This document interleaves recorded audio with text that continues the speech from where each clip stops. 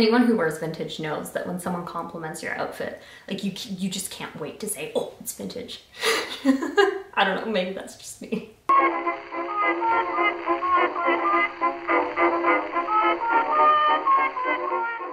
Hello and welcome back to My Tech Wardrobe. My name is Caitlin and today we are talking wedding dresses, specifically vintage wedding dresses. Get ready because this is some pretty niche content. So having just gotten married in October, what month is it now? November? I've lost all track of time in reality. Yes, so about three weeks ago, I got married and I did it wearing a wedding dress. And I got a vintage wedding dress and I really enjoyed the process. So I thought I would share it and share some tips and tricks for you along the way if this is something that you are interested in. I wanted to make a video on this specifically because a lot of people who have reached out to me over Instagram once they saw what my dress was were really interested in vintage wedding dresses in general. So whether that was repurposing a vintage wedding dress for some other occasion or finding the perfect vintage wedding dress for their own wedding. People are interested. So I figured I would tell you the story of how I found this dress and where and why I picked it, and then I'll get into the tips and tricks that I think you should consider if you're looking to purchase a vintage wedding dress, or if you're even just generally interested in the topic. I got engaged way, way back in September of 2018. And at the time, we were really excited and not in a rush to plan a wedding at all. Little did we know. we decided that we wanted to hold our wedding in October of 2020. Moment of silence for my original wedding date.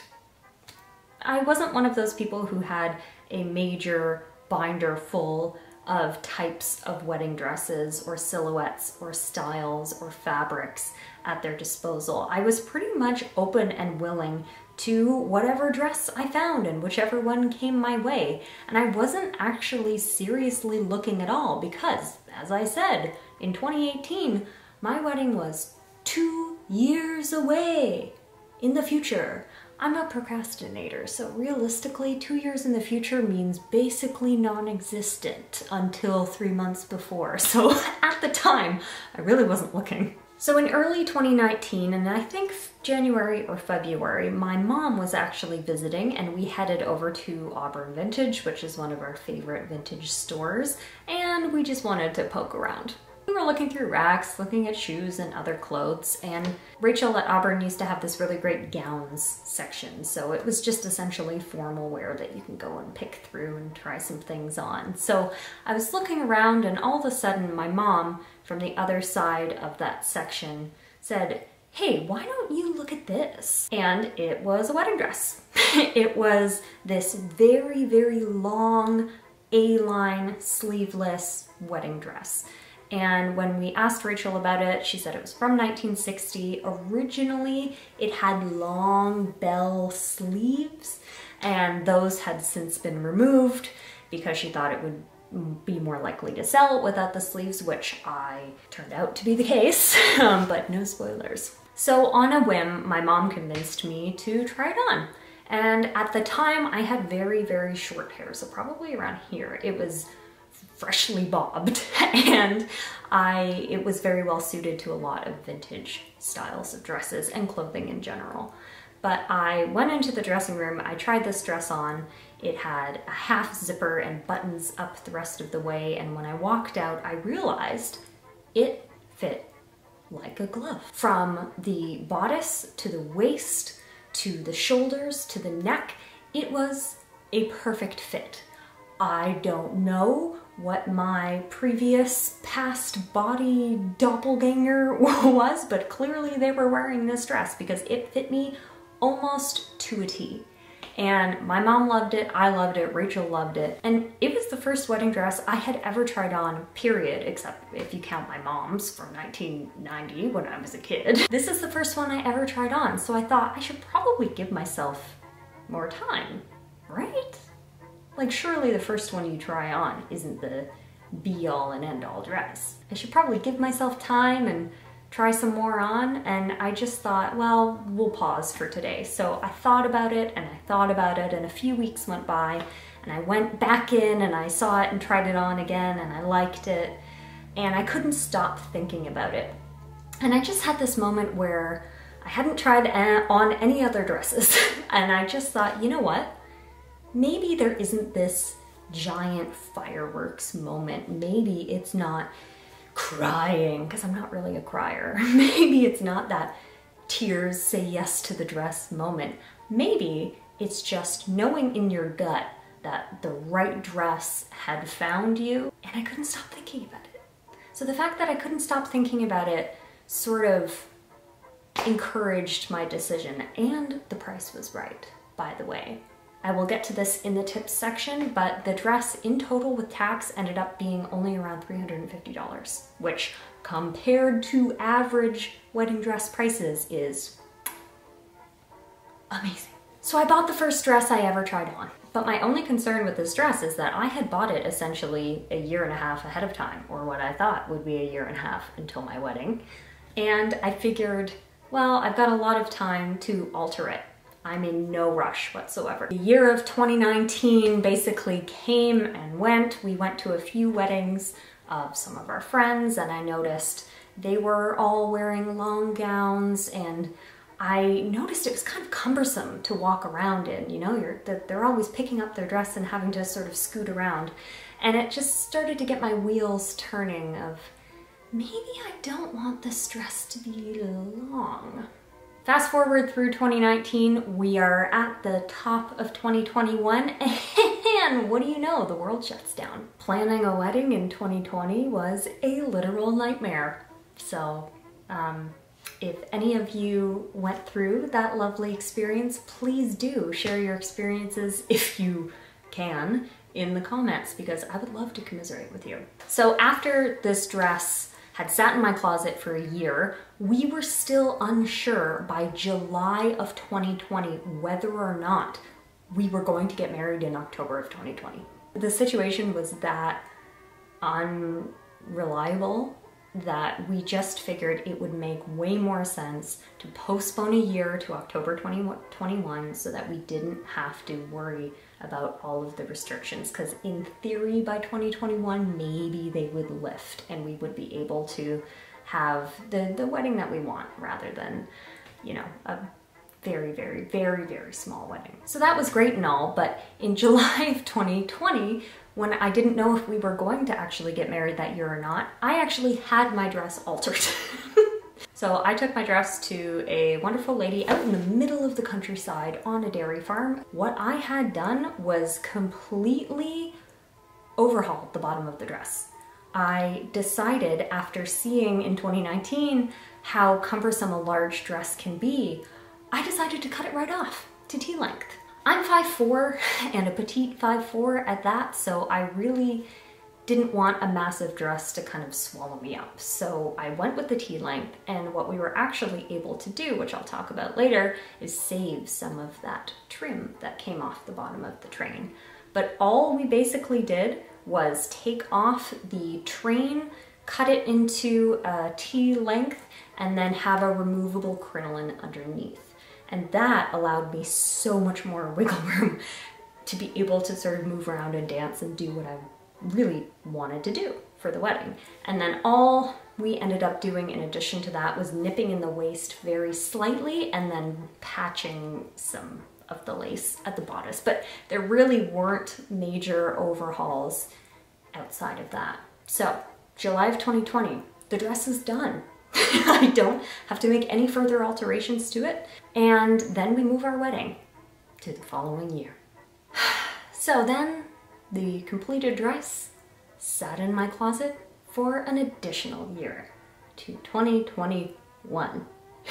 now, I had been trying it on periodically throughout the early part of this year, 2021, because I wanted to make sure it still fit. if we had to take it in or take it out, I needed to make sure that it was actually going to look right, because I wasn't sure. And to be honest, I wasn't even sure if my style was the same as it was two years prior when I actually purchased the dress.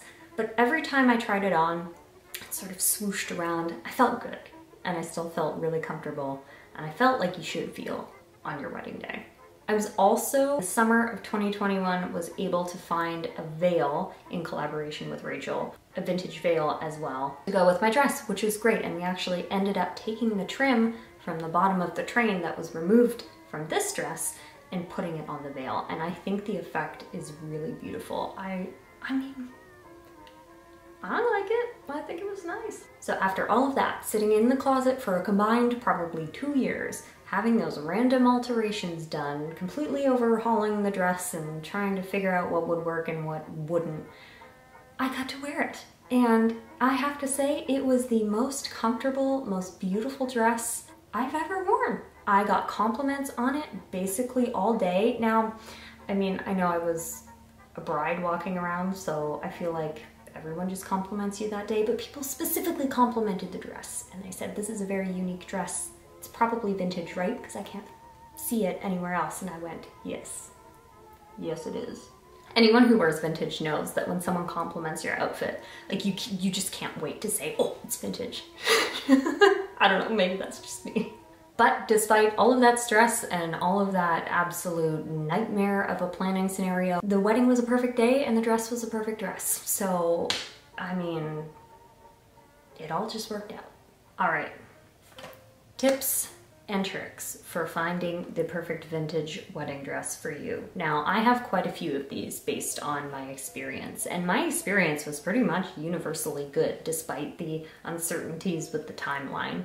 So I cannot recommend enough finding a vintage or secondhand dress and then making it your own because I felt so unique and so beautiful that day that I know you will too, I hope. My first tip is try if you are in a big metropolitan area, try to go to a smaller city or smaller town to find your dress. So I live in a pretty mid-sized suburban city in Ontario and the vintage store that I worked through was in a small town in the outskirts and so was the tailor who altered my wedding dress.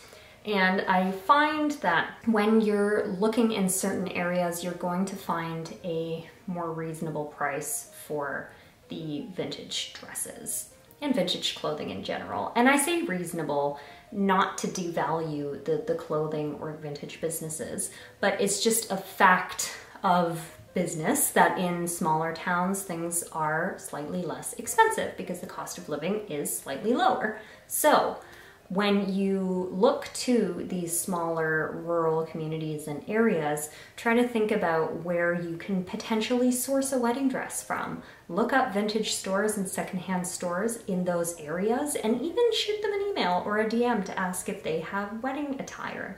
And chances are they do. Most vintage stores will have some kind of wedding attire, even if that's not their primary inventory. And actually, if you are someone who is looking to get married and is looking for a much more unique wedding dress option, vintage stores will have them. It's not just vintage white wedding dresses. They'll have vintage dresses of every color that you could potentially use for your wedding. So try to go to the outskirts first and try to go to smaller towns first because you might find a different type of inventory there and the fact that they have formal wear might mean that the prices are a little bit lower because a lot of the time people aren't looking for a lot of formal wear in those smaller cities and rural areas. So they want to make sure that those, you know, dresses move. So something to think about. Like I said, my wedding dress, I think with tax was about $350 and to tailor the entire thing and to have it cut perfectly cost an additional 30, $30. So in all, my dress was $380.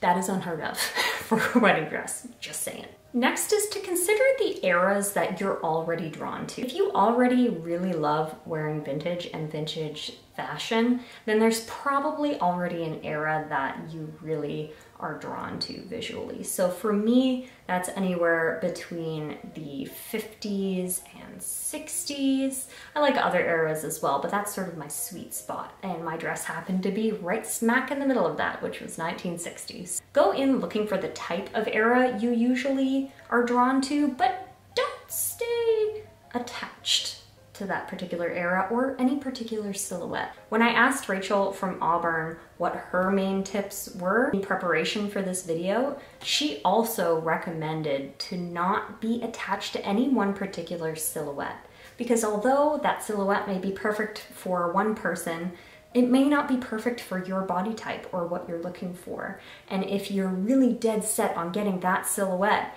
you may not find it in vintage or you may not find it in a way that makes you feel really comfortable and really confident. So go in with an absolutely open mind, but acknowledging what you're already drawn to. At least that gives you a starting point to work from. And on the subject of tailoring, don't be afraid to alter a vintage dress. I know that I watch some thrift flips sometimes and I just think, no, you're ruining this beautiful vintage piece and flipping it into something trendy. But this is your wedding dress. you have to do something that's gonna work for you and you can still maintain the vintage integrity of the garment if you choose the right tailor, which I'll talk about in a minute.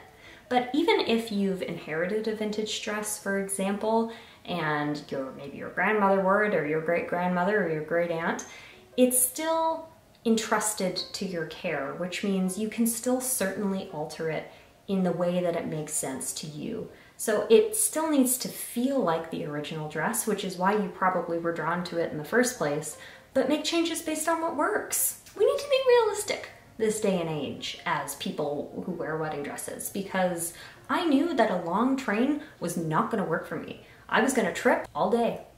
I, and perhaps even fall on my face, we don't know. But I avoided that entirely because I cut that right off and made it tea-length and made it comfortable for me. I am so glad that I did. So if you need to alter something, either to let it out or to restructure it slightly, do it. Don't feel bad and don't feel like the store owner will judge you either. They may even suggest some ways to alter the dress to make it more your style or more what you're looking for. So consider that dress a starting point. It's like any other dress. If you went to a bridal boutique and you bought something brand new, you can still alter it to make it work.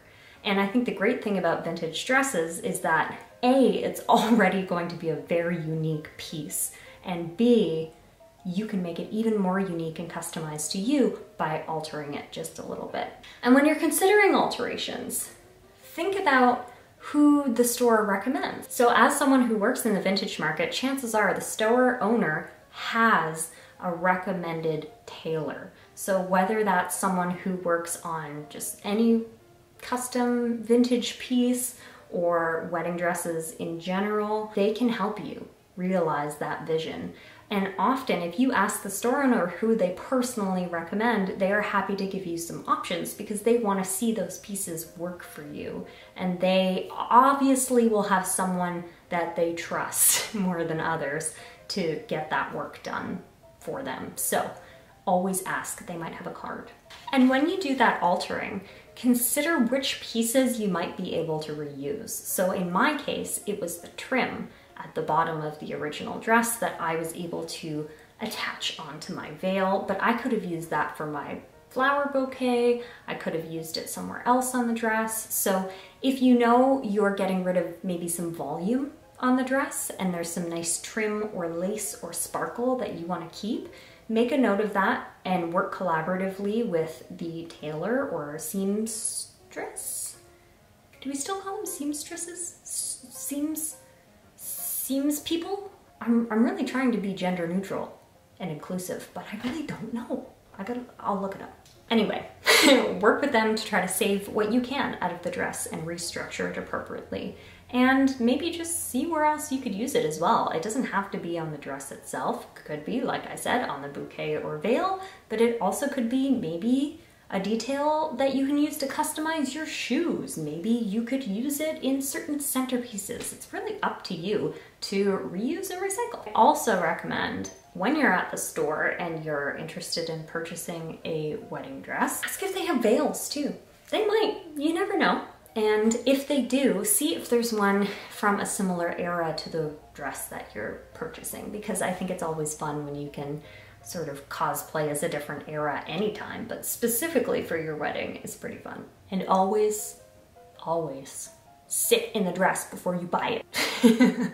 Just, and if there's no chair in the fitting room or anywhere in the store, just do a couple of squats because you need to know how your body moves in this thing. Yes, you can alter and you definitely should alter the dress to make it fit perfectly for you, but if it's not even comfortable to sit down in in the first place, maybe it's too tight or something rubs or something's a little bit weird, you need to know that because then if you do still end up buying it, you can go into the tailor with that information and let them know where to put stuff. So if something's rubbing you under your armpits, maybe have them put some extra padding on the inside of the dress somewhere. You know what I mean? So always, always do a couple squats, do a couple of like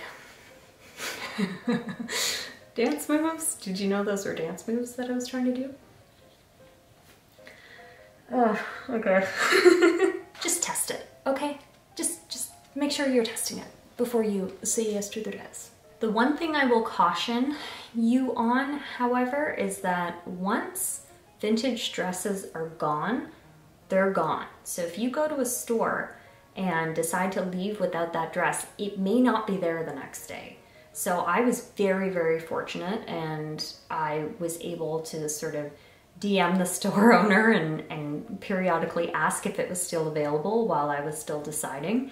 Um, and they let me know that it was still there, but it's not always the case. If you're going in thinking that this might be the dress, you might just want to buy it because chances are it's less expensive anyway, even including tailoring. And even if you don't choose to wear that actual dress for your wedding, you might be able to wear it to something like a bridal shower or some other event that you're having throughout the course of your wedding. I don't know what your plans are, but you know, you can wear a wedding dress anytime. Maybe not, but I did. I also purchased actually two wedding dresses. so in 2021, I bought an additional wedding dress from Auburn and I used it for my bridal shower because I loved that it was short, came with a little bolero jacket that was too small for me, but I still love it. And I felt like a princess of Genovia that day, let me just say. But both dresses in combination were still cheaper than a regular dress.